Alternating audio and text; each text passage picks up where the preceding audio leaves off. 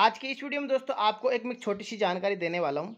Ceiling fan को आप जब खोलते हो तो उसका जो स्टेटर निकलता है, कई बार आपने देखा होगा कि जो अंदर की वाली जो कोयल होता है, वो काफ़ी ज़्यादा गर्म हो जाती है और कई बार जल भी जाती है।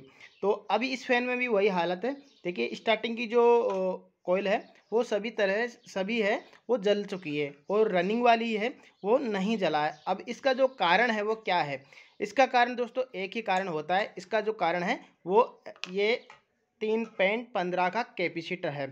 अगर हम इसमें तीन पेंट पंद्रह का कैपेसिटर लगाते हैं तो स्टार्टिंग में वोल्टेज ज़्यादा हो जाते हैं, स्टार्टिंग में टर्न होते हैं कम और स्टार्टिंग में वोल्टेज हो जाते हैं ज़्यादा, जिसके कारण स्टार्टिंग वाइंडिंग जल जाती है। स्टार्टिंग वाइंडिंग जलने के बाद फ़ैन है, वो स्लो चलने लगता है। तो दोस्तों, कभी भी हमको ऐसी गलती बिल्कुल नहीं करनी चाहिए। हमको तीन पेंट पंद्रह कैपेसिटर हमको नहीं लगाना चाहिए।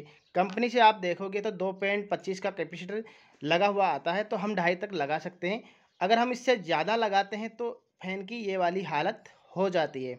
तो दोस्तों, उम्मीद करता हूँ आपको यह जानकारी पसंद आई होगी। अगर पसंद आए तो प्लीज़ इस वीडियो को लाइक कर दीजिए और चैनल पे आप पहली बार आए हो तो सब्सक्राइब करके बेल आइकन को प्रेस कर लीजिएगा, क्योंकि इस चैनल पे आपको हमेशा नॉलेज वाली वीडियो मिलती रहती है। तो दोस्तों, मिलते हैं नेक्स्ट वीडियो में।